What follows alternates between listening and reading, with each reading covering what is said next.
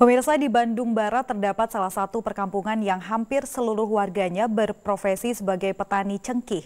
Setiap musim panen, hampir seluruh warga baik dari yang tua hingga anak-anak beramai-ramai ikut panen hingga mensortir atau memotes. Mau tahu bagaimana prosesnya? Berikut liputannya.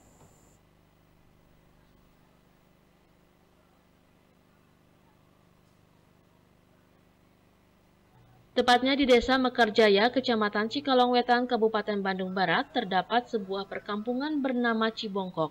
Hampir seluruh masyarakatnya menekuni profesi sebagai petani cengkeh.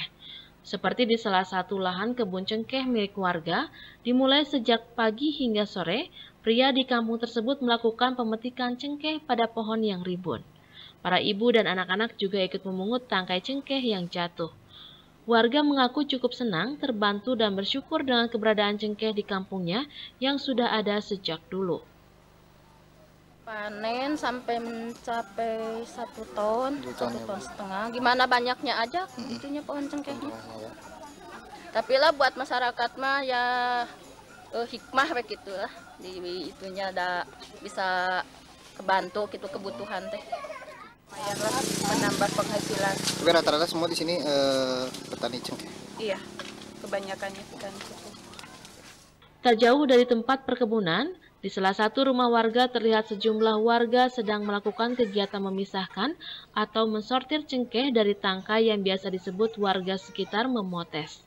Kegiatan tersebut mereka lakukan karena mendapat penghasilan upah.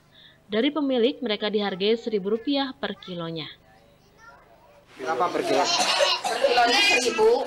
Biasa per hari dapat ber menghasilkan berapa kilo? Eh, kadang-kadang tiga puluh, kadang-kadang dua lima. Gimana banyak itunya cengkehnya. Uh, buat jajan anak aja. Sedangkan menurut salah seorang petani cengkeh, Kiking mengaku meski harga cengkeh saat ini sedang buruk, namun Kiking dan warga mengaku masih bersyukur tahun ini masih dapat memanen. Sedangkan untuk penjualan, hasil cengkih basah terlebih dahulu dijemur selama satu minggu hingga mengering berwarna hitam coklat beraroma cengkih pun sangat terasa. Setelah kering, cengkih pun siap dijual ke pengepul atau jika tidak pembelian datang ke tempatnya. Kiking pun turun gunung mengantarkan atau memasarkan cengkih di pasar-pasar terdekat yang ada di Cikalongwetan. Ya sekarang panen sedang raya mah belum. Belum ya? Belum raya. Panen tim parapat mah panennya. Harganya eh, cuma nyampe kemarin 95 sekarang lagi turun. Itu berapa? Minggu satu satu minggu? Satu minggu kalau oh, itu, cuaca? panasnya matang lima hari Panen cengkih di tahun 2018 ini dianggap warga Cibongkok sebagai berkah, mengingat bidang pertanian cengkih merupakan salah satu andalan warga Cibongkok untuk meningkatkan perekonomian setiap kepala keluarganya.